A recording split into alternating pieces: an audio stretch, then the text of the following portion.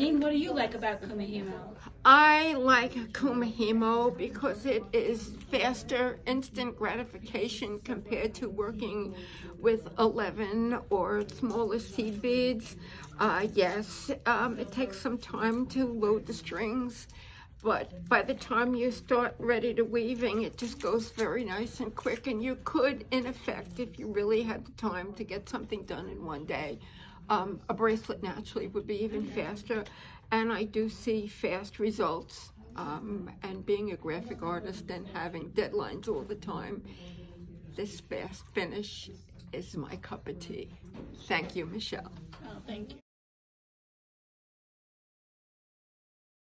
What do you like about Kumihimo?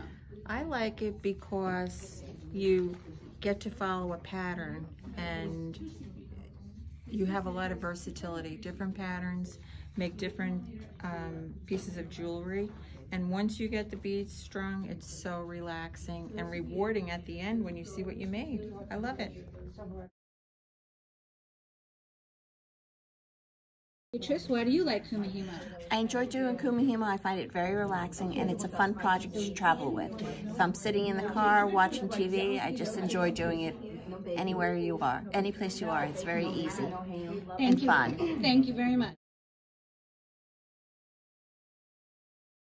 So what do you like about Kumihimo? Oh, once you're loaded, it's just a breeze. It goes so easy and it's actually very relaxing. Thank you. Julia, what do you like about Kumihimo? Eh, me gusta el kumihimo porque es portátil. Puedo llevarlo a cualquier lugar. Después de que ponga las beads en los, en los cordones, eh, puedo hacerlo en cualquier parte y también puedo pararme y caminar cuando estoy haciendo los proyectos. Gracias. Gracias. Ginger, what do you like about Kumihimo? I like the way that the structure builds itself, like the colors build itself as you go along. Thank you.